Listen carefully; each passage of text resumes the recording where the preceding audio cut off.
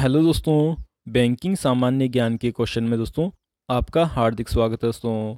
तो दोस्तों, आज का पहला क्वेश्चन है दोस्तों, अंतर्राष्ट्रीय श्रम संस्थान का मुख्यालय कहाँ है? तो जेनेवा के अंदर दोस्तों, अंतर्राष्ट्रीय श्रम संगठन का मुख्यालय जेनेवा के अंदर दोस्तों। नेक्स्ट क्वेश्चन दोस्तों, अंतर्राष्ट्रीय वित्त निगम। अंतर्राष्ट्रीय वित्त निगम क्या है दोस्तों? तो विकासशील देशों के निजी उद्योगों को बिना गारंटी के धन की व्यवस्था करना ही अंतर्राष्ट्रीय वित्त निगम का कार्य है दोस्तों। नेक्स्ट क्वेश्चन दोस्तों, अमेरिका के केंद्रीय बैंक का क्या नाम है दोस्तों?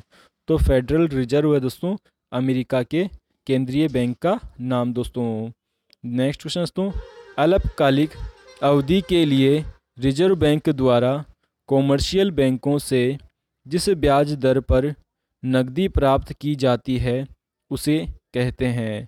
तो उसे रिवर्स रेपो रेट कहा जाता है दोस्तों, जो कि अल्पकालीन अवधि के लिए रिज़र्व बैंकों के द्वारा कॉमर्शियल बैंकों से जो ब्याज दर पर ऋण लिया जाता है दोस्तों, यानी नकदी ली जाती है दोस्तों, उसे रिवर्स रेपो रेट कहते हैं दोस्तों।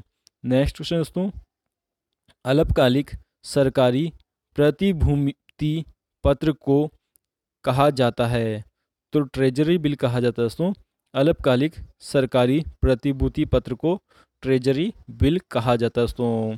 अगर दोस्तों बैंकिंग सामान्य ज्ञान के क्वेश्चन पसंद आए दोस्तों तो प्लीज़ चैनल को सब्सक्राइब किए दोस्तों और इस वीडियो को फेसबुक और व्हाट्सअप अकाउंट के माध्यम से अपने दोस्तों को भी ज़रूर ज़रूर शेयर किए दोस्तों।